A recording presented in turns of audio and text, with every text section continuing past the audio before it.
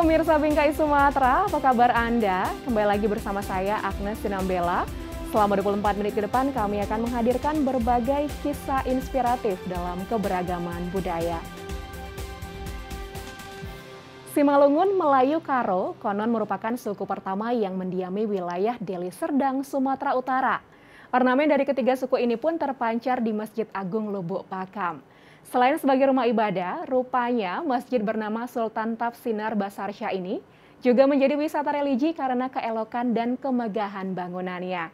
Selengkapnya dalam tayangan berikut.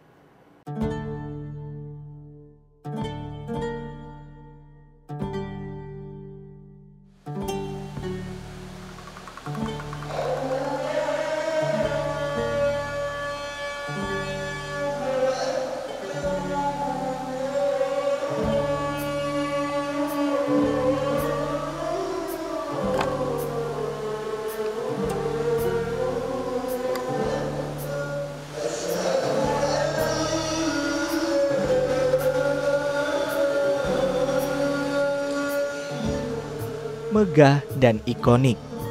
Itulah kesan pertama ketika menginjakan kaki di Masjid Agung Deli Serdang yang terletak di Lubuk Pakam, Kabupaten Deli Serdang, Sumatera Utara. Bernama Masjid Agung Sultan Taf Sinar Basarsyah yang diambil dari nama salah seorang raja yang memerintah Kesultanan Serdang dari 1817 hingga 1850.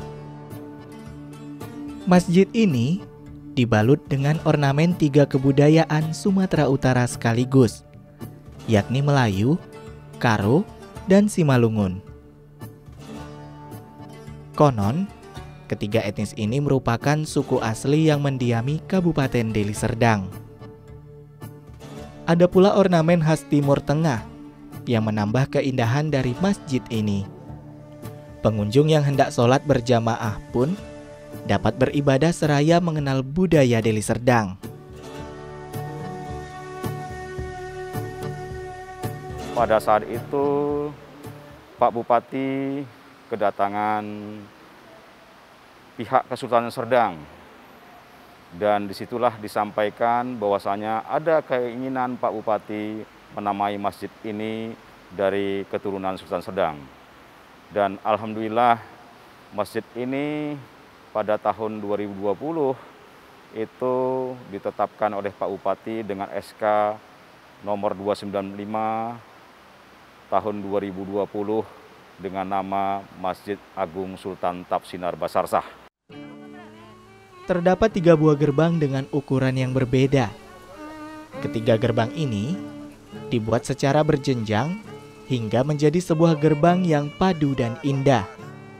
Apabila pengunjung melihatnya dari luar, empat struktur utama bangunan masjid meliputi kubah dan tiga tiang yang ada di luar akan menampilkan lafaz Allah.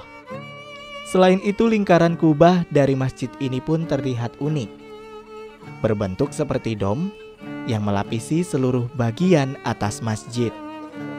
Oh iya pemirsa, selain sebagai rumah ibadah, Masjid ini juga kerap dijadikan sebagai lokasi wisata religi.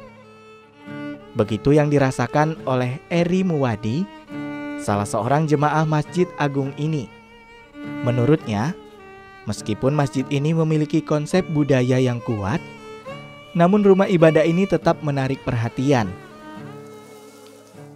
Ya sebetulnya dibilang tertarik ya tertarik juga karena penasaran juga ngelihat masjidnya ini kan megah gitu kan tempat parkirnya pun luas. Harapan saya ya semoga uh, masjid ini menjadi apa ya uh, memperbanyak umatnya lah gitu kan di sini ya kan. Masjid Agung Sultan Taf Sinar Basarsyah menjadi ikon Lubuk Pakam dan Kabupaten Deli Serdang. Hadirnya masjid ini menjadi simbol rumah ibadah yang menaungi seluruh umat muslim dalam pilar keberagaman.